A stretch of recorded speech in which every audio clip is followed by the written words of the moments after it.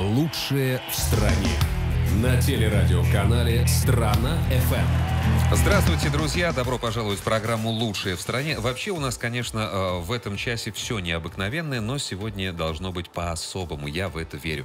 Меня зовут Роман Шахов, моя коллега Лиза Калинина и наша гостья в студии. Дорогие друзья, у нас в гостях сегодня писатель, лингвист, кандидат филологических наук, психолог, переводчик, логотерапевт Галина Лившиц-Артемьева. Здравствуйте! Здравствуйте! Здравствуйте! Галина, мы безумно рады, что вы к нам пришли. А, и у нас есть информационный повод интересный, потому что э, совсем скоро в сети класс э, продолжатся ваши лекции. Я так понимаю, это э, мастер-класс. Мастер-класс да. и постоянная такая угу. история. И вот тема у нас э, программы звучит так: я хочу и могу добиться перемен в своей жизни.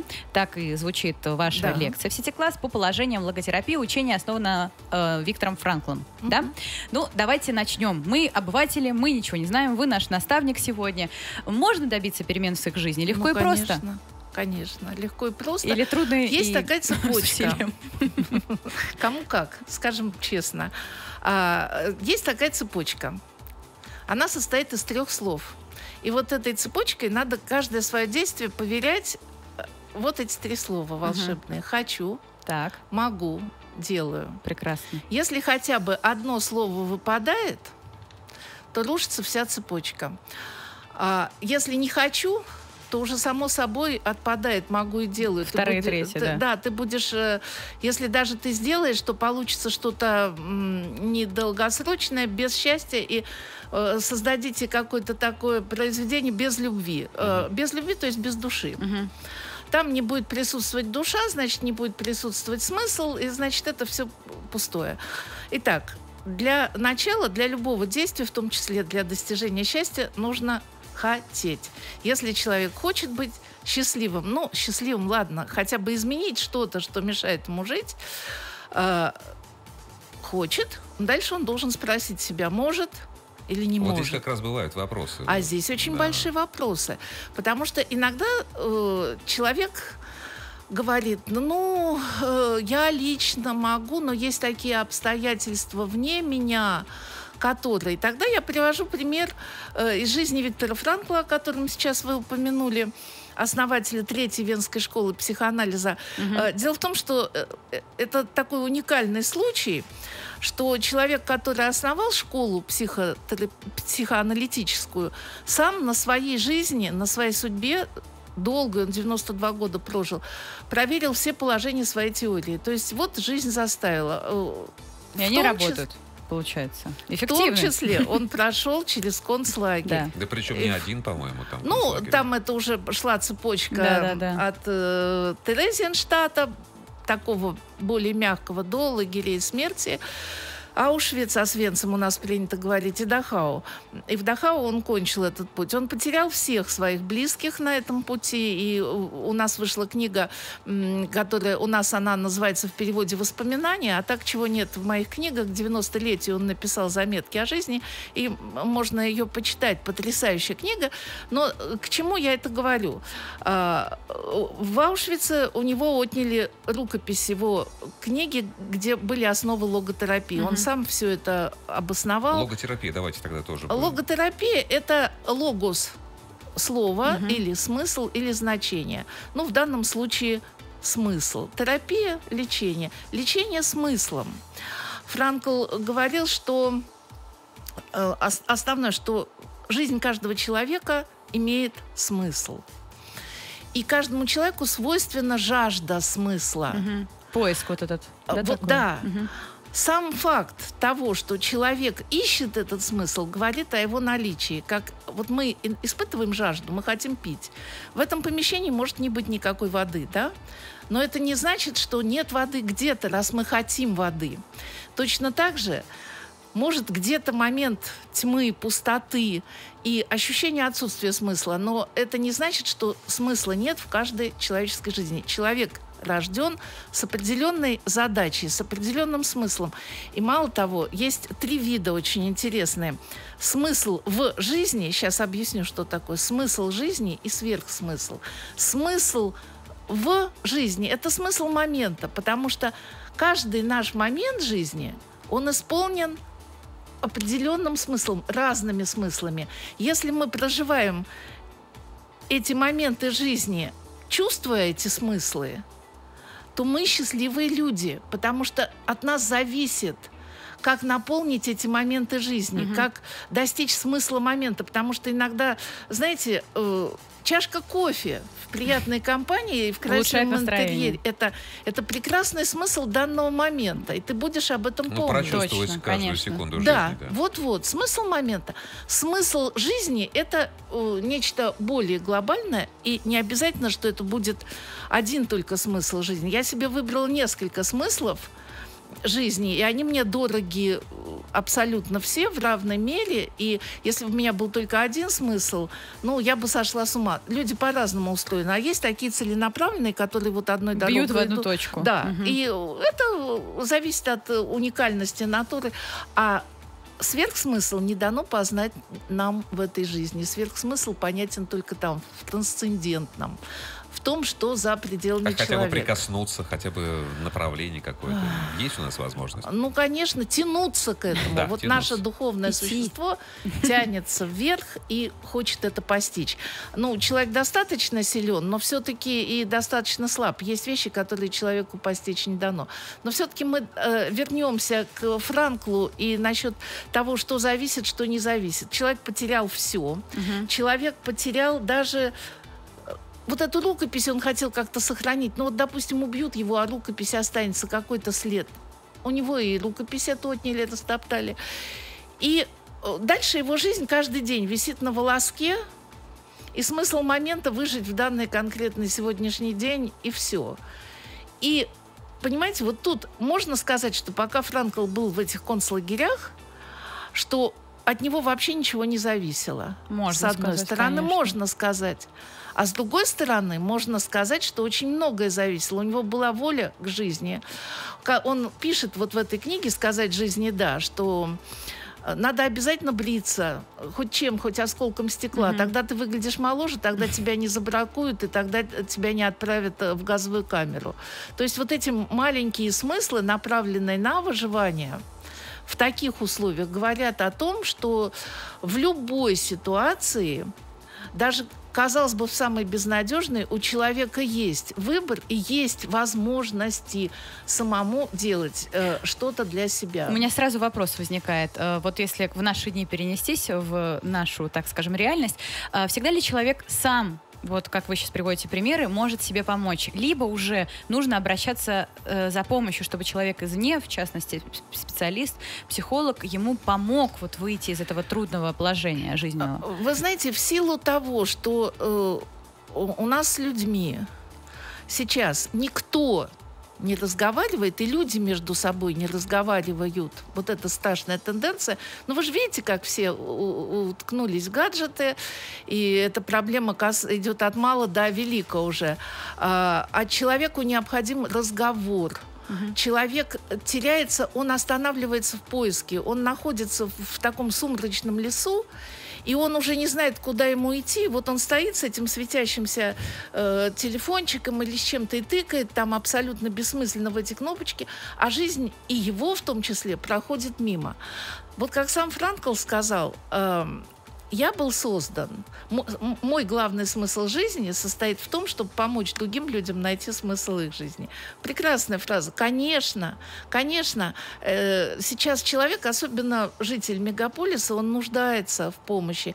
И э, есть люди, даже не невротики, они не страдают ни неврозами, ни психозами они нуждаются в разговоре о жизни, в серьезном, качественном, качественном профессиональном, когда сразу профессионал наведет на тот или иной путь, и человек вдруг видит, а, перед ним дорога-то открыта, как же он не видел? Угу. То есть выключаем гаджеты, идем к психологу.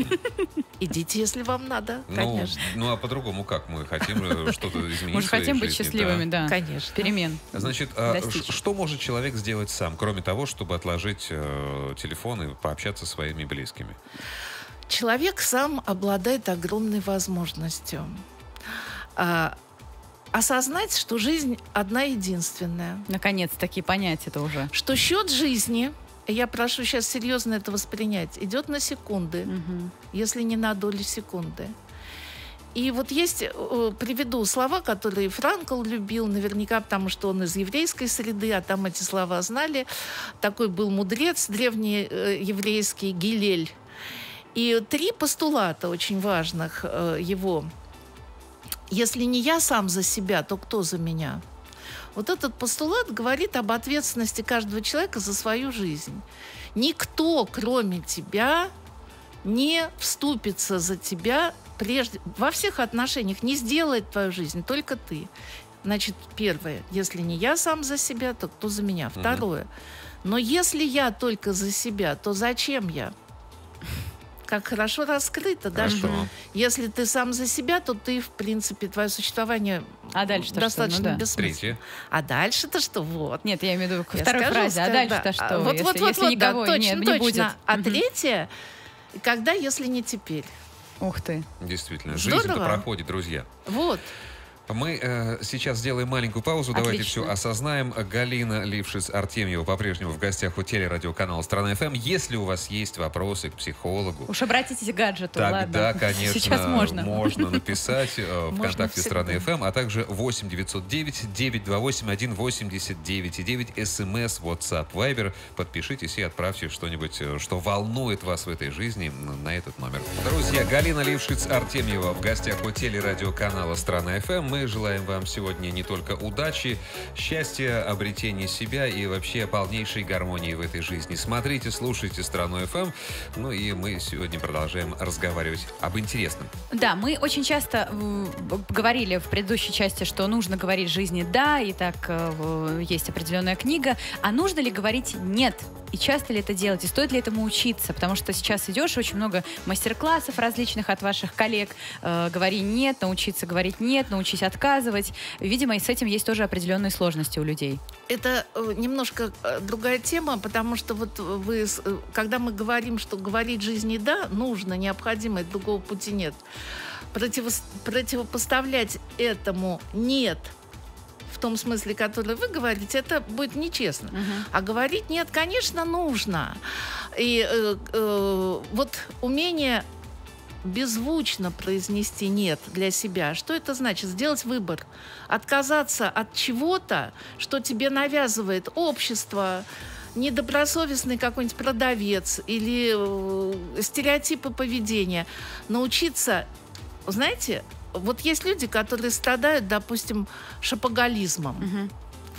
Идут женщины, которые могут себе позволить благодаря мужьям купить все, что угодно. И э, поскольку у нее очень много времени, она убивает время на то, что она э, покупает, покупает, покупает, покупает, потом у нее шмотки висят в шкафу с бирками, и потом она э, благотворительно раздает угу. это все. Так вот, э, лечение от шопоголизма, оно часто и заключается в умении э, выработка навыка сказать себе нет – осознать, в чем смысл сейчас будет моей покупки. Мне кажется, этим женщинам, в принципе, смысл жизни сложно осознать.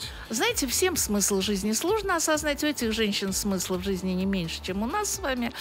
Другой вопрос, что, ну, может быть, у них не было добрых родителей. Может быть, они жили в таких условиях и мечтали только о деньгах, потому что ничего не видели. Тоже, кстати, смысл да, для вот, кого-то. Да, да.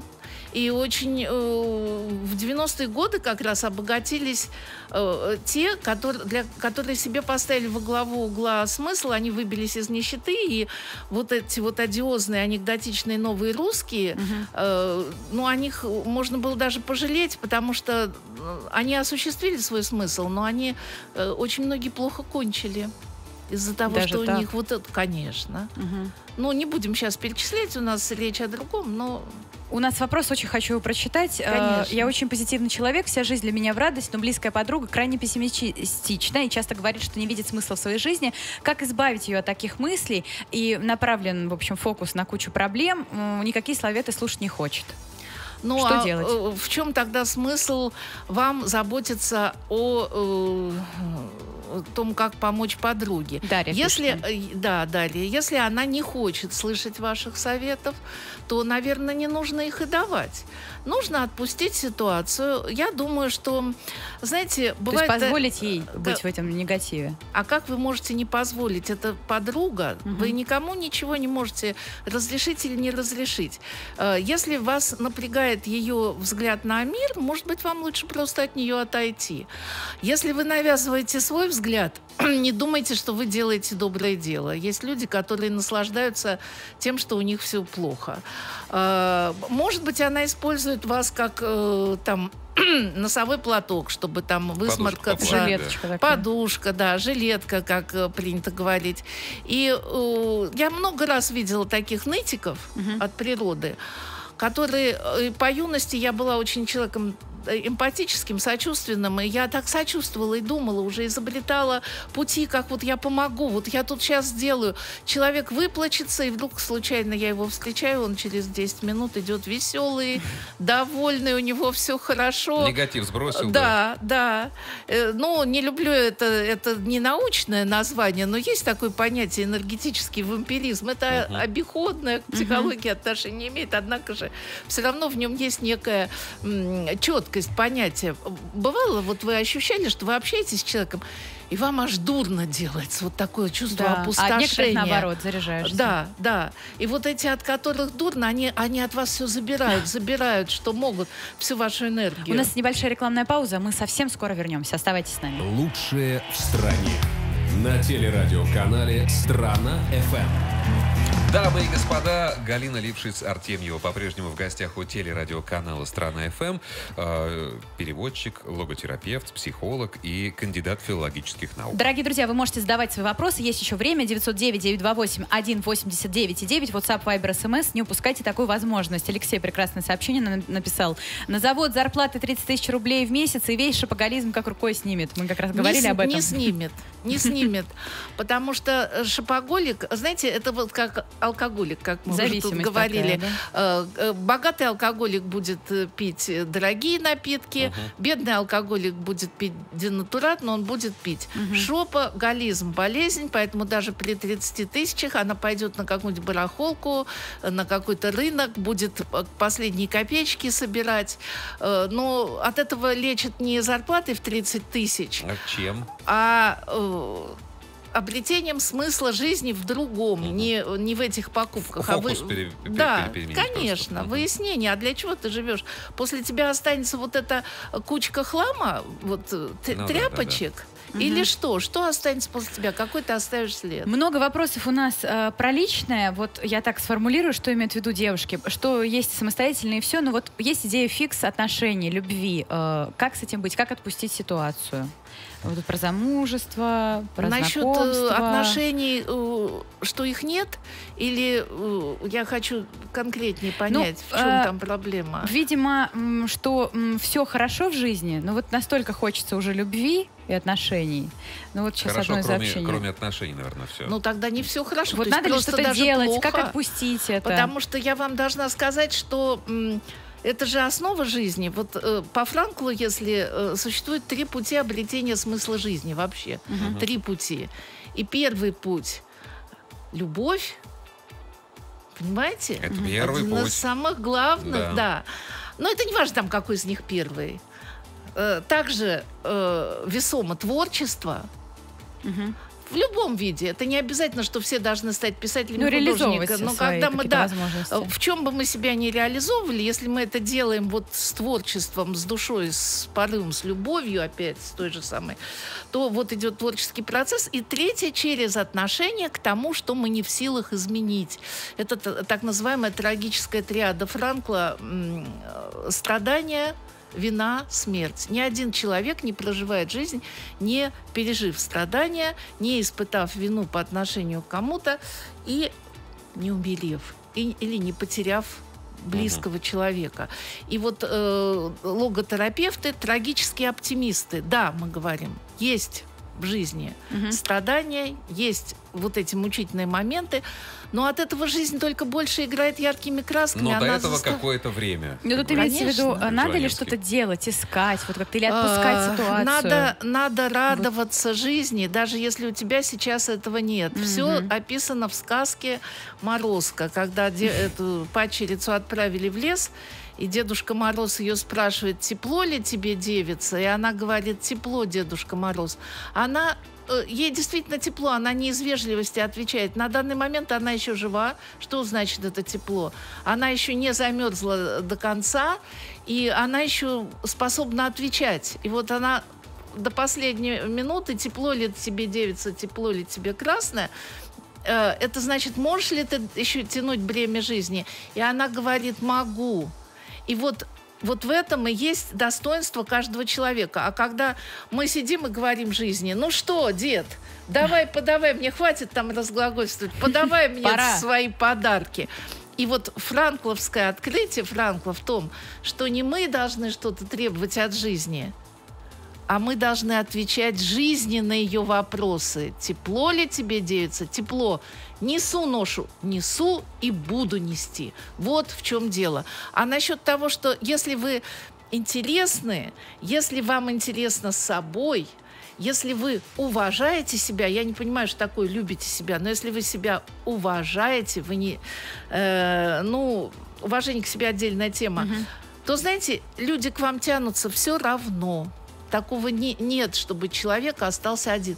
Вы можете э, тысячу раз там накрасить глаза, надуть губы, э, одеться в какую-то одежду. На вас посмотрят, с вами заговорят. Обратят внимание, да. Да, спросят, угу. девушка, вы москвичка? И она скажет, угадайте.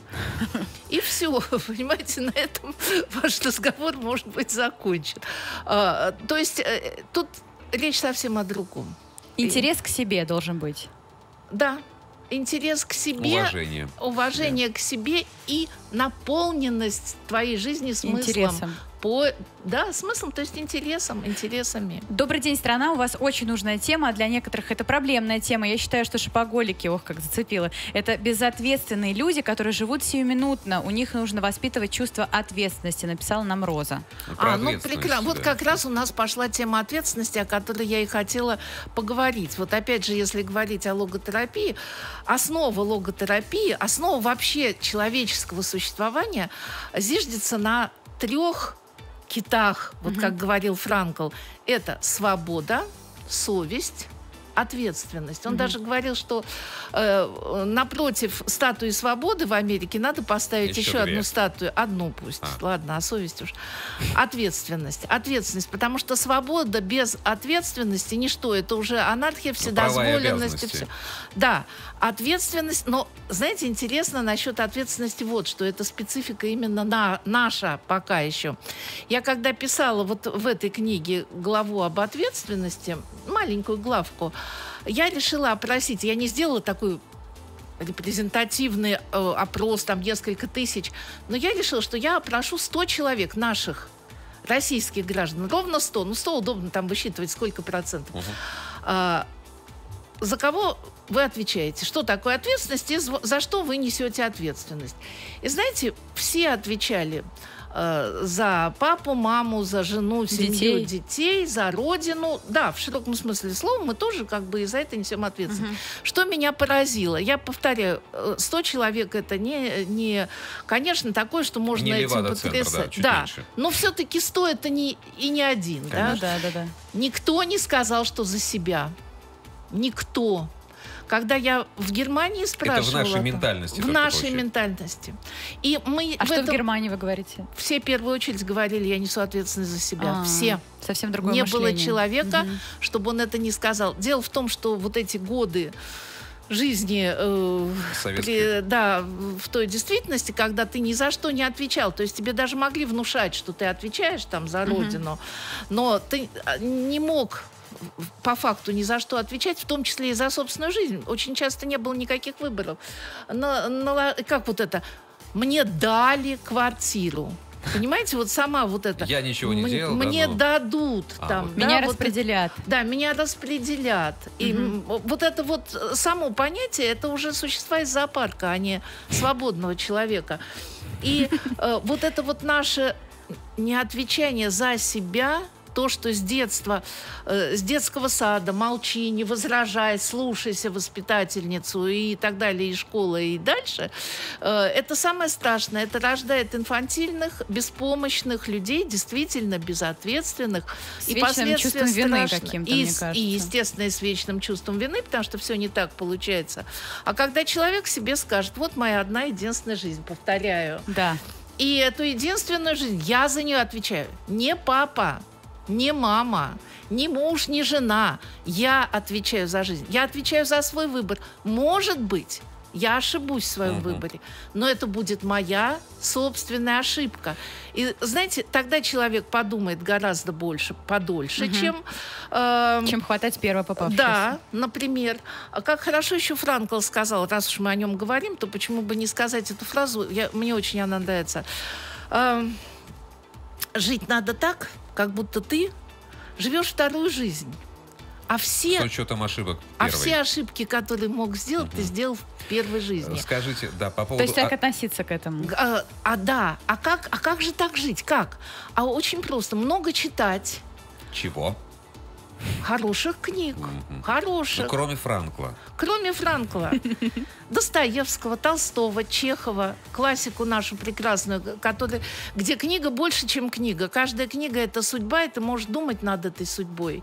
И ты можешь думать, ставить себя на место этих героев. Ты можешь эти ситуации прорабатывать. Даже осудить, наверное. Ну, Конечно, для себя. Но конечно, кого-то ты можешь принять, кого-то не принять, кого-то не понять или думать, а я-то бы, а я бы смог, Как поступить? смогла. И вот, а на чем нам еще учиться? На каких-то философских трудах, думать о жизни. То есть думать, э, жить надо осмотрительно, зная, что за все, за каждый мой шаг, мой шаг э, отвечать придется мне. И что то, что все я выберу, мой выбор останется в книге моей жизни. Мгм. Ну а как же дети? Мы же отвечаем за детей, да? За До детей какого мы, возраста? мы, Как вот тут? безусловно, Как за их приучить детей. отвечать за себя? Мы за детей отвечаем даже юридически до 18 их лет. Мгм. Но учить их отвечать за себя надо Как можно самому- раньше. Да, как можно раньше. Не делать, давай я, ой, у тебя не получается, я сделаю за тебя. Нет, пусть ковыряется. Иногда же нет времени, и хочешь, давай скорее одевайся в шнурки, я тебе завяжу, там то все вот. Вот начиная с мелкого какого-то дела, э, хочешь поесть, не ковыряйся, я тебе сама отрежу кусок хлеба. Мгм. Или ты порежешься, или ты там то все. Нет. Сам, сам, пусть человек как можно раньше, Раньше. сам плывет по волнам своей жизни. Это очень важно. Мгм. И надо э, человеку объяснять, что это твоя жизнь. Давай вместе решим. Я тебе предлагаю вот такие варианты. У тебя есть какой-то еще вариант? Давай подумаем, какой лучше. Вы знаете, у нас есть вариант сейчас сделать паузу, а мы потом продолжим. Спасибо. без Да. вариантов. Без вариантов, это точно. Друзья, в гостях у страны ФМ писатель, лингвист, кандидат филологических наук, психолог, переводчик, логотерапевт Галина Левшиц-Артемьева. И мы уже неоднократно обращались к книге, которая у нас лежит э, на столе. Галина, расскажите поподробнее, что это такое, где ее Куда найти? ее показывать, только не знаю. А вас а, значит, видно. что за книга? Книга э, э, моя, Так. хотя она э, под фамилией Берта Ландау, под Мгм. именем и фамилией. Это моя бабушка. Мгм. А, у бабушки э, такая интересная судьба была, и Я она... покажу. э, так, Так. вдох- э, если бы не, не бабушка, не было бы вообще нашей семьи, потому что когда немцы подходили к Смоленску, и дедушка сказал, Бетя, давай останемся, мы уже не убежим, потому что все начальство партийное уехало, а город остался как бы на разграбление. Мгм. А дедушка хорошо знал Германию и немцев давних пор. Это действительно был культурный народ прекрасный. А бабушка сказала, нет, мы уйдем. Они ушли пешком. Они старшего сына отправили на фронт, он и погиб под Сталинградом. А мой папа, тогда им было 17 лет, бабушка и дедушка, то есть его родители, ушли пешком. И, и тем самым они спасли бабушка, Мгм. худенькая, маленькая, слабенькая, намного младше дедушки. Она спасла жизнь будущих поколений нашей семьи таким решением. Потому что первое, что делали немцы, входя в города вот в Белоруссии, потом уже у нас, в Смоленске, они э, расстреливали, расстреливали выгребали всех евреев, гетто, расстрел, угу. зверские убийства и все. Ну вот, а папа потом, э, уже когда ему вскоре исполнилось 18 лет, он пошел на фронт и был до конца войны. Он вернулся живым. Из двух сыновей один выжил, и вот нас много народилось. Мы все любим жизнь. Мы все... Спасибо бабушке, да. Дети победителя папы победителя и дедушки победителя, и теперь про дедушки мы ходим на бессмертный полк. А все это благодаря бабушке. Поэтому я решила, что вот это настолько корреспондирует э, тема с э, Виктором Франклом, что книги про э, смысл жизни, угу. вот может быть бабушкина самое главное было деяние, знаете, это вот уйти, тогда принять решение, нет, мы уходим. Они бросили все, у них сколько-то фотографий, какие-то там, даже одежды толком э, не взяли с собой, Конечно, но они спасли самое главное. Поэтому Берта Ландау «Жажда смысла». Она о Викторе Франкле, она о логотерапии, она очень интересная. Там есть часть, где просто легенда, связанная с жизнью Франкла. А Ищите сейчас... на прилавках. А это есть на прилавках, да. везде, в Доме книги и во всех только домах. вышла книга? Нет, это не только-только, это 2017 год. А сейчас вышла книга, я ее еще даже в руках не держала, но она прямо вышла. Она тоже Берта Ландау «Смысл семьи». И она о семейных отношениях, она интересна тем, что там куча примеров из практики со всякими комментариями. И там это интересно будет читать э, и тем, кто совершенно не, никак, никакого отношения к психологии не имеет. И к логотерапевтам тоже интересно, потому что там есть случаи типичные, а есть очень нетипичные. Как говорится, для широкого круга читателей. Вот-вот. Прям будете читать в захлеб. Класс. Гарантирую. Ждем. И что важно, друзья, Сити-класс тоже для вас э, лекции идут. Да, да. Приходите в сентябре особенно будет а, э, Смотрите, жарко. каждый месяц я провожу мастер-классы в Сити-классе, в моем mm-hmm. любимом, где собираются просто отборные люди всегда в Сити-классах, те, кому интересна тема.